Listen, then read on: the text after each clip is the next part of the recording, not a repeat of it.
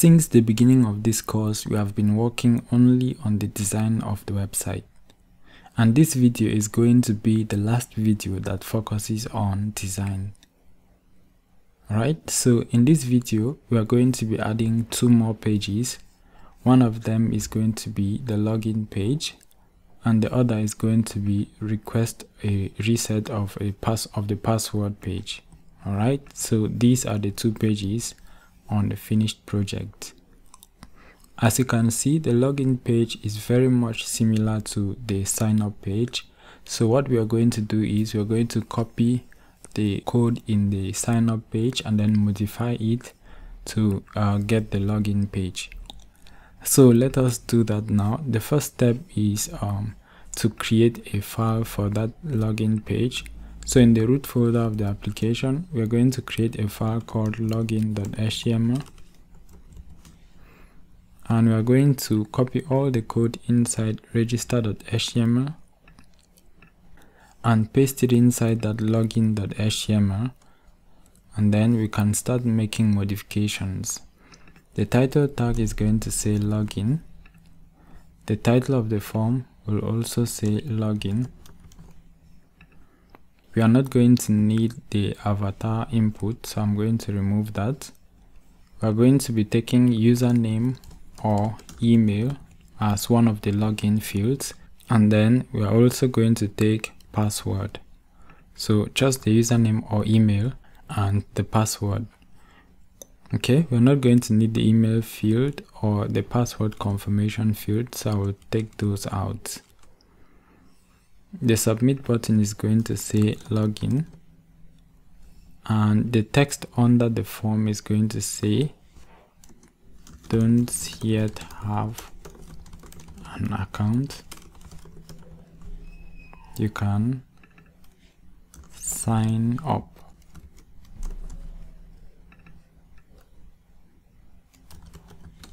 Okay so this will link back to the register page so with this, we can open the page on the browser and see what it looks like.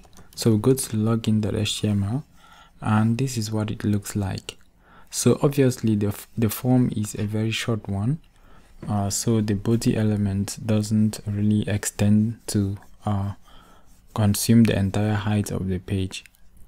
So what we are going to do about that is let us go to the uh, patterned uh, the pattern background styles that we added and make sure we set this height to instead of just setting this height to auto we will set it to 100% of the visible height.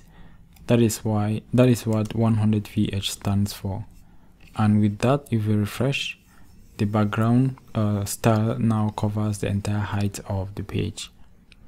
One thing I want us to do is I want this form to have a bit more margin at the top so I'm going to add a class to this auth form, the one for login. I'm just going to give it a class of small auth form.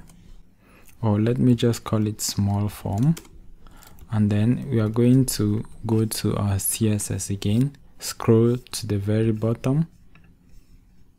And then we will create another selector for auth form particularly one that has a class of small form. Remember there is no space between the two classes here because they both belong to the same element. So for this form we're going to give, like I said, a bit more margin.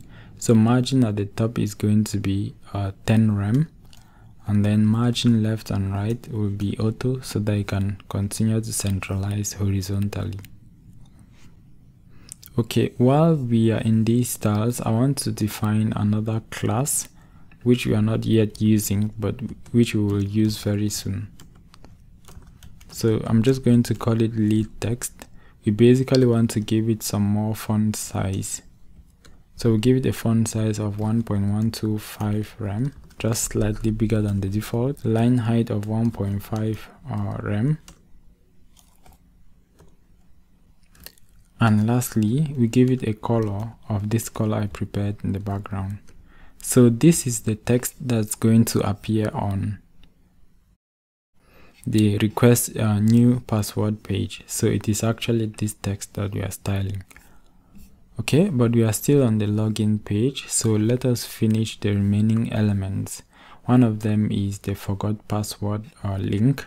And then another one is the remember me input let us start with the remember me input because that's very simple. So after the um, password field we are going to have another input group. This one is going to be a checkbox. We will give it a label with a for attribute of remember me. So we'll have an input of type checkbox. The name is going to be the same as the for attribute and so will the id attribute. Okay make sure we add the label itself.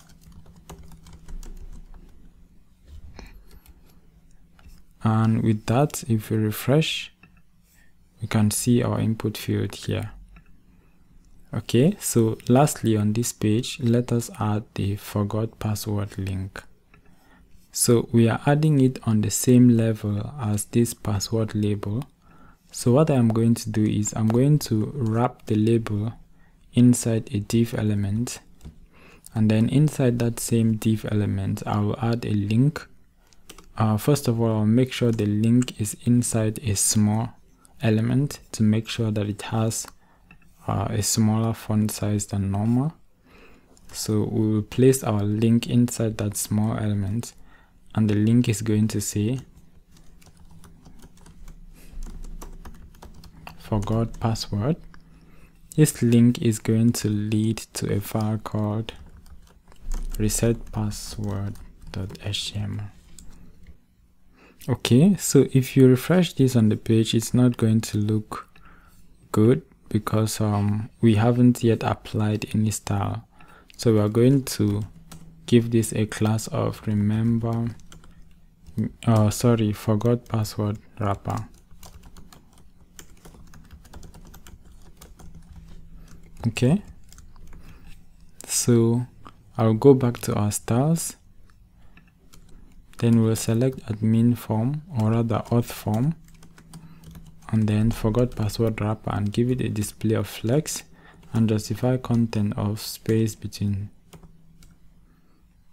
Okay when we do that and we refresh it now aligns itself correctly.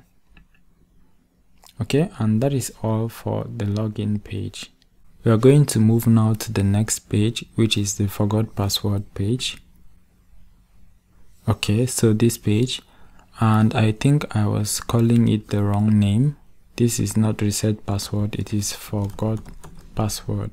So we are going to create a new file in the root folder of our application called uh, forgot password. So make sure we are creating it in the root folder itself the same level as the login page okay so it's going to look very similar to the login page. So I'm going to copy everything within login.html and paste it inside forgotpassword.html. Then we can change the title to forgot password. The title is going to say request new password. That is the title of the form so this is going to have only the email field. So let us change it accordingly. We change the type of the input field to email as well. Okay and then we will remove everything else. We'll remove the uh, password field as well as the remember me field. And then the button here is going to simply say request a password or request reset link. What does it say even? Okay send reset link. Okay. And then we will remove this uh, paragraph at the bottom of the file as well. And uh, the last thing is this text. And this is where our, our lead text class comes in okay so we're just going to have a div element after the title of the form. We'll give it a class of lead text. And then we'll paste this text inside it. Let us go back to our browser and we go to the forgot password page and this is what it looks like.